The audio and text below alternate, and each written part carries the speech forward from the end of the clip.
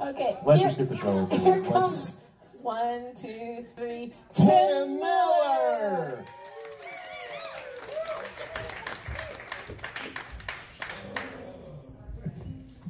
All by myself. Don't wanna be all by myself. Yeah, so I couldn't find a partner for this. That's fine. Just like life. Is that a groan? Sounds like a dying cat. Do we need to like put you out of your misery or what? Yes. Talk to me after the show. Work on something. I feel like my life is a lot, a lot like a video game sometimes. I'm also stuck on level three in life, so one one giggle.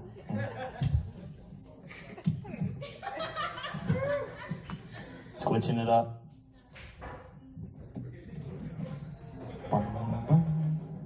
Yeah. Know what the fuck I'm doing. You guys ever notice that like porn has been like projected on like smaller and smaller screens? Yeah, Yeah, you know, like it started out in the theater screens, like weird perverts, perverts can go to like theaters and watch porn. And then it was like on cable and like VHS, and then it was on computer, and then it's on, now you can get it on your phone. Like what next? They're just gonna like shoot it right into your eyeball. Just put new meaning in the word money shot, right? No? Okay.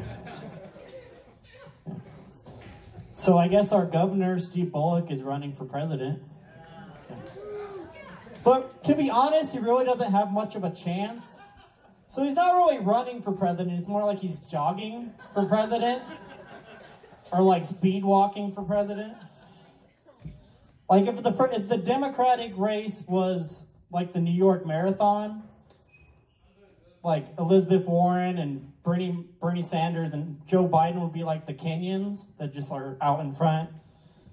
And Steve Bullock's like that one slub from like New Jersey that's like just maybe he won a few marathons back home, but he's not doing great. Yeah. Wow. Hmm.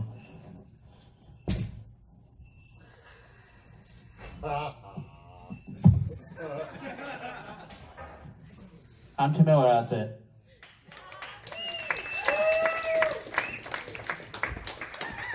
Tim Miller, everyone.